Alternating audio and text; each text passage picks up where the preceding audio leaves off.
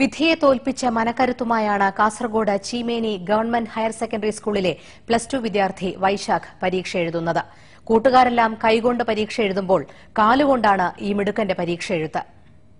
വിധിയുടെ ക്രൂരതയ്ക്ക് മുന്നിൽ പതരാതെ വിജയത്തിലേക്ക് വൈശാഖ് തൂലിക ചലിപ്പിക്കുന്നത് കാലുകൊണ്ടാണ്. ഇരു കൈകളിലെങ്കിലും തളരാത്ത മനസ്സുമായിട്ടാണ് വൈശാഖ് ഹയർ സെക്കൻഡറി പരീക്ഷ എഴുതുന്നത്. ജന്മനായുള്ള ഉള്ള വൈകല്യത്തെ മനഃശക്തി കൊണ്ട് കീഴടക്കുകയാണ് ചീമേനി ഹയർ സെക്കൻഡറിയിലെ ഈ മിടുക്കൻ. കാലുകൊണ്ട് അനായാസമായാണ് വൈശാഖിന്റെ പരീക്ഷ എഴുത്ത്. ചെറുപ്പത്തിലെ ഏച്ചീന്റെതും അവരെല്ലാം എഴുതുന്ന കണ്ടിട്ട് പഠിച്ചാണ് പ്രത്യേകിച്ച് ട്രെയിനിങ് ഒന്നുമില്ല.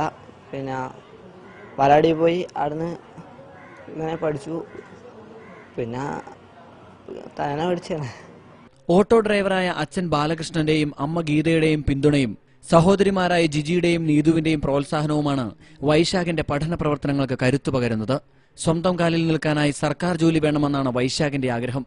സർക്കാർ ജോലിക്കായി പി എസ് സി പരീക്ഷാ പരിശീലനവും വൈശാഖ് നടത്തുന്നുണ്ട്. K V Baiju Surya news Kasaragod.